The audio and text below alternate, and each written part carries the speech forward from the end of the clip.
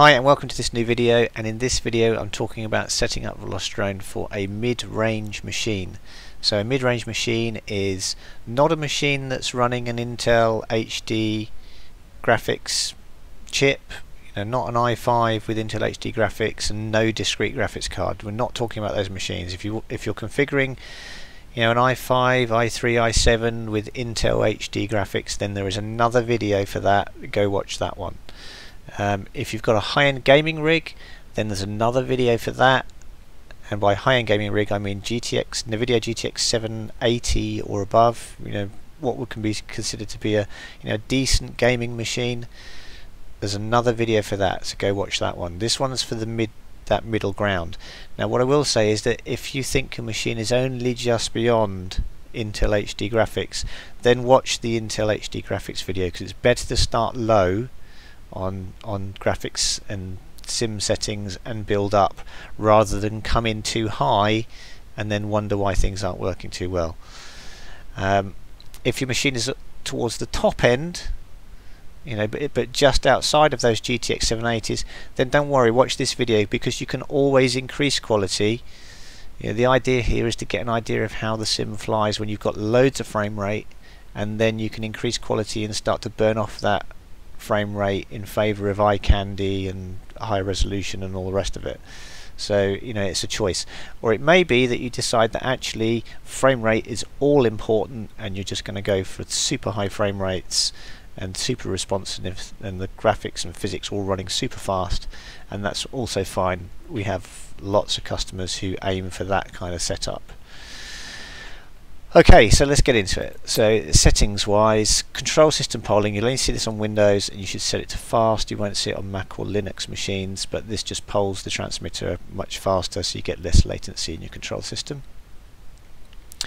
Uh, because we're running a discrete, graphics card, it means the CPU is now doing less, so we can afford to control to do the control system polling much more quickly because we've got some overhead in our CPU now, hopefully. For screen settings, auto adjust quality no, minimum FPS 9999, quality level fastest, and then set your screen resolution to 1280 by 720. Now this may sound like it's low, but remember the idea here is to have loads of frame rate. We want to fly the sim with loads of frame rate so that we know what it feels like to fly when it's all working really nicely and, and we've got tons of frame rate to spare. So that's the that's the plan. So this may be a little bit more blurry than you're used to or whatever, but you can always turn it up later. We're getting a reference for how the sim flies at this point. Full screen, yes. VSync false. Graphics rendering type forward. Color grading, don't need to worry about. Motion blur off. All these set to no. Camera draw distance, set it to medium. We can set it to high later, but for the moment we're going to set it to medium just so that we can reduce our rendering workload a little bit. Dynamic skies, yes, they they don't add a lot of performance. They're not really suitable for low spec, but as soon as you jump out of low spec dynamic skies, you can have them. They look they look a bit nicer. High quality football stadium, no. Um, you can turn on the high quality football stadium later on, but for the moment, turn it off. And birds and butterflies, well, that's just an extravagance. We don't need that for the moment, so leave that off. In the quad settings, again we've got overhead in our CPU we should have it's not having to do graphics anymore because we have a discrete card so we can have physics CPU usage on high camera field of view should be 115 to 120 I normally go 120 some people may find that a little bit more distorted than they're used to so you may want to drop back to somewhere between 150 and 120 if you're an experienced pilot set your camera angle to 45 to 50 if you're a freestyler, obviously you can go lower because camera angle isn't everything, but if you're a racer, 45 to 50 is good if you're experienced. If you're not, go for a lower camera angle. Propeller power 100% is fine, min throttle 1030, quad weight 100%. Prop size, if you're a freestyler, go for 50-40. If you're a racer, 50-45 camera angle compensation should be false unless you know what this is and you use this on your real quads. If you do then turn it on but bear in mind it is the implementation from Betaflight 301 and it's not as good as camera compensation in Betaflight 3.2. Quad rear spotlight we can leave that off. Low detail quads yes we want those. allow mid-air collision false. Well there's no performance impact with that so you can have whatever you like for that. Trails enabled they don't take a lot of performance so you can turn those back on. Battery simulation up to you what you run here. There's no performance impact from running battery simulation other than your quad's going to have a battery that runs down. But in terms of frame rate there's no hit and quad audio can be on quad that's all fine. Okay so those are our settings. Um, you'll notice that I didn't do an apply because I want to keep my screen resolution nice for the video so we aren't actually going to drop to 1280 by 720 um, but for you you want to hit apply to get those new settings locked in. Okay so let me just go back here to screen settings and I'm just going to change this back to 1920 by 1080 and hit apply just so I lock those in for me. And now we want to load a really lightweight scene. An empty scene day is the lightest weight scene performance wise in the sim so we want to load that one because remember we want loads of frame rate. And then you want to pick a track I would suggest pylons to begin with and then something with just like cones and gates and that sort of thing try to steer away from trees because you're trying to trees are quite performance heavy so the less of those the better whilst you get a feel for how it flies with really really high frame rate I'm going to use mini rock because my machine's really powerful so I'm going to get tons of frame rate anyway Ready to race. okay so see here got about I've pressed F12 to get this up and I've got 700 odd 800 odd frames per second. And of course with 800 frames per second this is all going to fly really nicely. There's going to be very hardly any delay in the controls. The physics is all going to be running lovely. And this is the time to just fly it get a feel for it. Make sure that on your machine you've got 150 to 200 frames a second that's kind of where you want to be aiming with with a really simple scenery like this 200 frames per second sure maybe even more than that but the idea is that you've got loads of frame rate overhead because you want to feel how it is to fly at 200 odd frames a second. Once you've done that we can then start looking at well okay if I've got some overhead and you can see here I've got absolutely tons of overhead uh, you know, 700 frames a second you could up your quality level. I can do that by pressing E.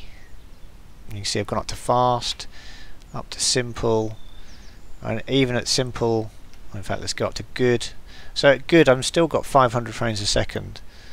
But bear in mind that this is a very very simple scene. If I change to river 2 which is the most complex scene in the sim I may not be getting 500 frames per second anymore at good. So you kind of want to switch between scenes now and and find a nice quality level that you can run at in all scenes and still get you know 150 200 frames per second. That's what we're aiming for is a nice high frame rate. You don't want to be dropping down into the sub 100s if you can help it on a mid-range machine. You want to reduce quality, reduce quality and reduce screen resolution and get a nice high frame rate because the sim will always fly better with frame rate. The physics can run faster, we can get much more accurate results from the physics equations when the frame rate is high. Okay, so uh, from here really it's just a case of tuning because you just want to settle on what your machine is capable of. You know, we've started really low, we've flown it, we know how it flies. Now we start adding in extra quality stuff and keep flying it and make sure that it still flies how you like. If you notice that your frame rates come down quite a lot and it's now not quite flying how you like, then you may want to sacrifice that eye candy and head back into areas where you've got more frame rate.